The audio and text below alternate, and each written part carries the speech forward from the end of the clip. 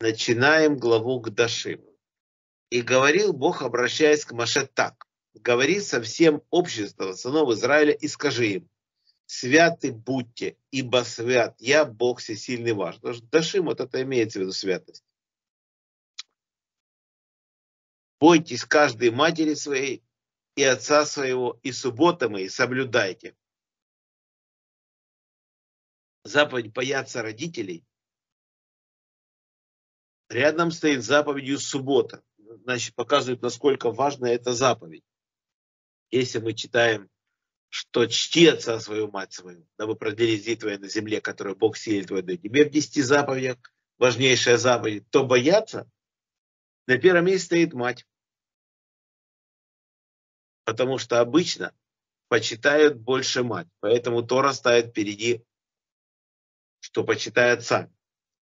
А вот бояться больше отца, чем мать. И поэтому здесь стоит наоборот, мать стоит, когда касается боязни, на первом месте. Вот и не обманывайте, и не обращайтесь к идолам, и богов, богов литых не делайте себе. Я Бог сильный ваш. То есть эти заповеди все идут рядом. То есть почитание родителей, боязнь родителей, суббота и обращение к идолам. Настолько это серьезные заповеди, что Тора их ставит рядом. И когда зарежете мирную жертву Богу, делаете это по желанию своему. День жертвоприношения вашего, и на следующий день должна она быть съедена. А оставшееся на третий день должно быть сожжено на огне. То есть некоторые из видов мирных жертв разрешено есть два дня и ночь между ними. Некоторые, типа жертвы по обету, там надо съесть за день и ночь чем это связано, трудно сказать. Это Тора пишет, и мы поэтому должны выполнять и все. Не все нам легко доступно. Хотя и та, и та является, казалось бы, мирной жертвой. Съедена то мерзость, это не удостоится благоволения. И тот, кто ест ее на третий день, понесет вину свою, ибо святыню Бога осквернил он, и оторвута будет душа его от народа ее. А когда будете жать жатву в стране вашей, не дожинай до конца края поля твоего и опавшего при жатве твоей. Не подбирай. То есть оставшееся после жатвы, что-то упало, остается бедному пришельцу. Так это работает. И край поля мы не можем собирать урожай. Это остается бедному пришельцу. Называется пиа. Сколько это пиа мудрецы не уточняют, но оставлять.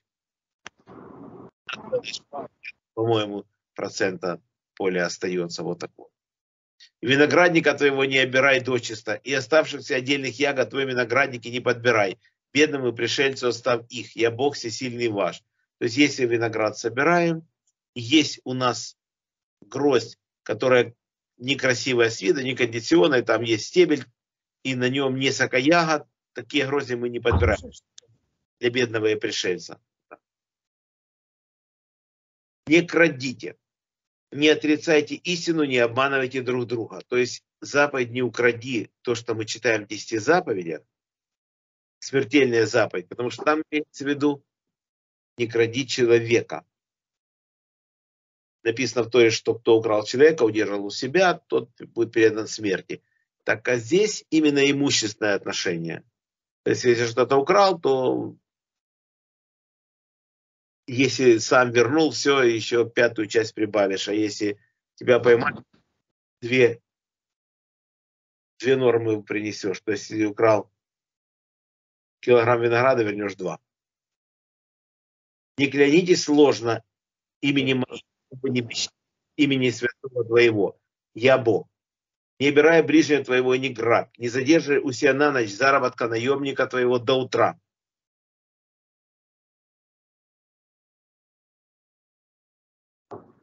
Не злословь глухого, и перед слепым не клади препятствия. И пусть... Так, кто у нас микрофончик не может выключить?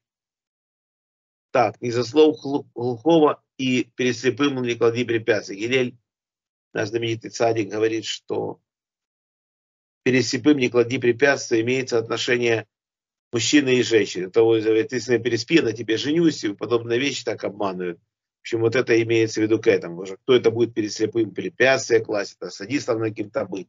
Вот так вот. То есть здесь имеется в виду вот именно это. Не совершайте несправедливости на суде, не будь снисходительной к нищему, и не угождай знатному. По правде суди ближнего твоего. твоего. Не ходи сплетником в народе своем и не оставайся равнодушным крови ближнего твоего. Я Бог. То есть человек, который распускает сплетник, что-то говорит, даже если это и правда, он об этом говорит, то все равно, что кровь проливает. Настолько это серьезное нарушение закона. О ком-то что-то говорить. Ты можешь говорить с утра до ночи, но ты рассказывай Туру.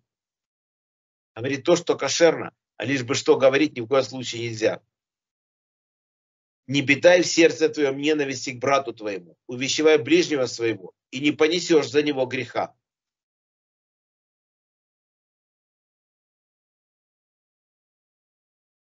То есть за ненависти можно понести на себе грех. Не мсти и не храни злобы на садов народа твоего, и люби ближнего своего, как самого себя. Я Бог. То есть Раби Акива считает, что это основное правило Торы. Люби ближнего своего к самого себя. Я Бог, пишется. То есть как, как будто это центр Торы. Вот так. Только важная заповедь. Это очень тяжело выполнить, любить ближнего к самого себя. Уставления мои соблюдайте. Скота твоего не своди с другой породой. Поле твоего не засевай зерном разнородным. И одежда из смешанной ткани, шерстяной льняной, да не покрывая тебя. Что касается ткани шерстяной льняной, это выше нашего понимания. Хуким, как называемые заповеди. Написал Всевышний, выполняем. Только потому, что он написал. Без комментариев. Может что-то догадываться, конечно. Можем все э, подумать, что раз в храме такая смесь предписана, смешать шерсть и лен, э, когда мы готовим ткань, то быту это делать нельзя. Можно так. Но Тора это не объясняет. Просто мы знаем, что шерсть и лен мы не можем носить ткани из такой смеси.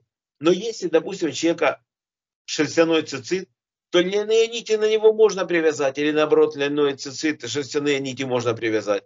Это удивительно, но это все разрешено. Главное, чтобы не выткать ткань из смеси такой.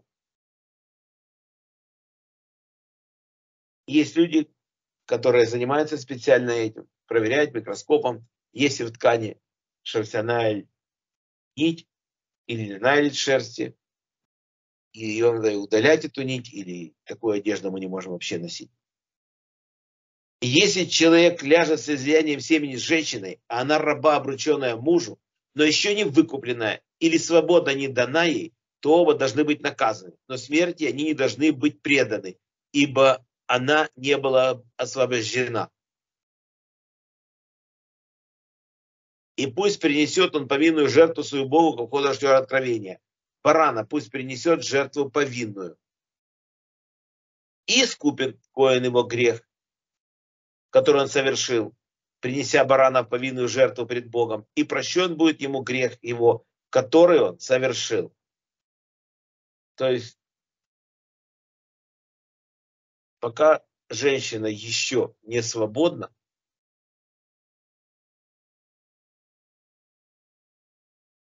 не будет смертного греха на хозяине, если он с ней переспит. Вот так вот. То есть это будет грех, но не смертный. Но если он уже освободил, это обрученная женщина, то, естественно, его можно за это умертвить. Суд может приговорить его. И когда придете вы в страну и посадите какое-либо дерево плодоносное, то считайте плоды его необрезанными. Три года да будут они для вас необрезанными.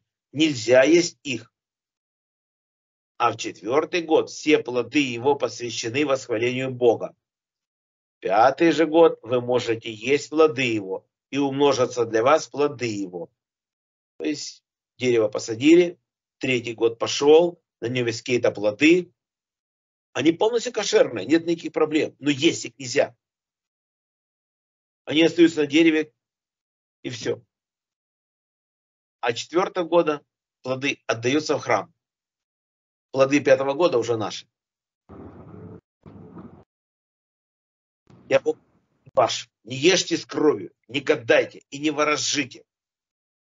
Не стригите краев волос вокруг головы вашей и не порти края бороды твоей порти края бороды твоей. И царапин по умершим не делайте на теле вашем, и на колотой надписи не делайте на себе, я Бог. Не оскверняй дочери твоей, передавая ее разврату, чтобы страна не извратилась, и не наполнена страна развратом. Субботы мы соблюдайте, и святилище мы чтите, я Бог. Для того, чтобы мы не соблюдали как следует субботы, то 70 лет мы за это жили в Вавилоне. За 70 лет субботник, которые мы не соблюдали. И обращ... не обращайтесь к вызывающим мертвых и к знахарям, и не ищите оскверниться ими, я Бог всесильный ваш. Перед сединой вставай и уважай старца, и бойся сильно твоего, я Бог. Перед сединой вставай, уважай старца, человека 70, если исполняется 70 лет, то надо уже вставать перед ним. Даже если он не еврей. То же самое. И когда будет жить у тебя пришелец в стране вашей, не притесняй его. Как житель страны среди вас пусть будет у вас пришелец, проживающий среди вас. Люби его, как самого себя, ибо пришельцами были вы в стране египетской. Я Бог всесильный ваш. не совершать несправедливость на суде, в измерении, в весе и в мере. Весы верные, гири верные, эйфа верная и гин верный пусть будут у вас. Я Бог всесильный ваш, который вывел вас страны египетской. Соблюдайте же все установления мои и все законы мои, и исполняйте их, я Бог. Если кто-то хочет что-то спросить или рассказать, пожалуйста.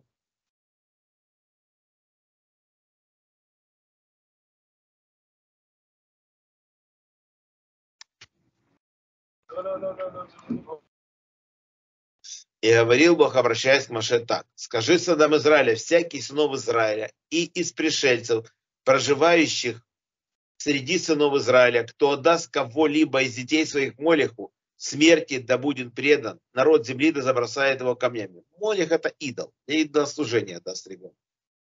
И обращу лицо мое на человека того, и оторну его из среды народа его. То, что отдал он кого из детей своих Молеху, чтобы осквернить святилище мое и обесчестить имя мое. Если же народ земли отвратит глаза своего человека, отдавшего кого-либо из детей своих Молику, дабы не умершлять его, то обращу я лицо мое на человека того и на семью его, и оторну его из всех совращенных им на блудное хождение, за Молихом из среды народа их. И на того, кто обратится к вызывающим мертвых и к знахарям, совращаясь ими, обращу я лицо мое и отурну душу его из среды народа его. Освящайте же себя и будьте святы, ибо я Бог всесильный ваш. И соблюдайте оставления мои, и исполняйте их, ибо я Бог, освящающий вас. Так всякий, кто будет засловить отца своего или мать свою, смерти должен быть предан. Отца своего и мать свою он засловит, кровь его на нем. Видите, отношение к родителям, вот, что-то не так, и это очень серьезно наказывается. Это как кровь проливает. Кто засловит отца или мать, или ударит, не дай бог, вообще. Это очень опасная заповедь. И, да, и почитать, и бояться.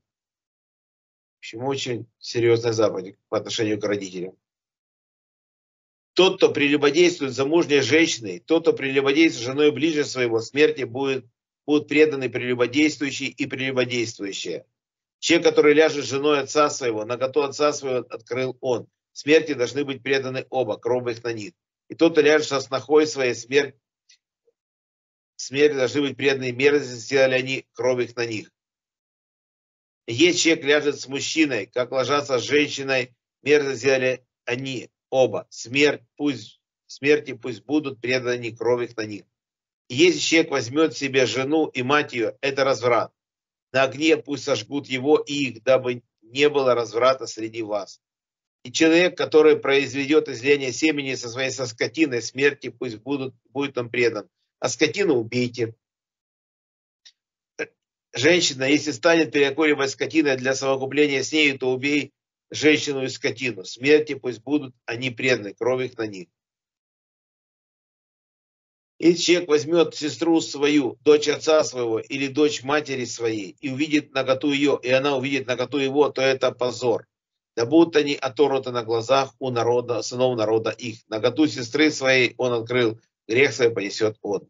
Если человек рядом с женщиной в необычной болезни ее и откроет наготу ее за то, что обнажил он исток ее, она открыла стечение кровей своих, да будут они оторваны оба они из среды народа своего. Ноготы сестры матери твоей и сестры отца твоего не открывай, ибо тот, кто делает это, обнажает их кровную свою, грех свой понесут они. Те, которые ляжет с тетей своей, наготу дяди своего он открыл, грех свой понесут они, бездетными врут они. Если человек возьмет жену брата своего во время отстранения ее, это осквернение. Наготу брата своего он открыл, бездетные будут они. Соблюдайте же все уставления мои, и все законы мои исполняйте их, дабы не стоила вас страна, в которой я веду вас, чтобы жить в ней. И не ходите по обычаям народа, который изгоняет вас. Они все это делали, и вознушался ими. И сказал я вам, вы завладеете землей их, и я дам ее вам наследие, страну текущую молоком и медом.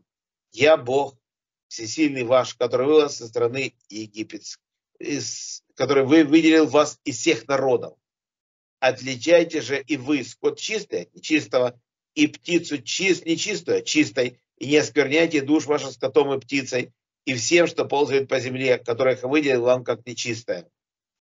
Будьте же мне святы, ибо свят я Бог, и я выделил вас из народов, чтобы быть вам моими. И мужчина или женщина, если окажется среди них вызывающий мертвых, или знахарь смерти, да будут они преданы, камнями, пусть забросает их кровь на них. Так, мертвых вызывать нельзя. То, что мы видим, что в отчаянии царь Шауль взывал к мертвому могиле пророка Шмуэля, и ему это удалось, и Шмуэль ему ответил, что Всевышний забирает у тебя царство все равно то, что неправильно поступил. Взял он тогда из имущества, которое, сказал, Всевышний уничтожить. Так вот. Так, кто хочет что-то рассказать, сказать, спросить, пожалуйста. Дашим на этом заканчивается.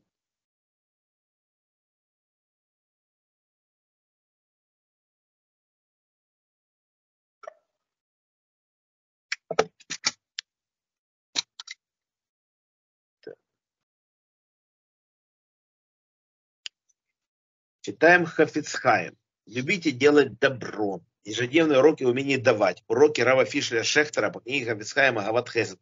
Перевел на русский язык. И далее Спинадель. День 15. 15 Тишли, 15 Нисана. Гават Хесед, раздел 2, глава 5. Лишние километры. Как у всех людей, мне в чем-то надо увеличить самоконтроль. Сегодня посвящу мое доброе дело тому, чтобы получить в этом помощь Бога.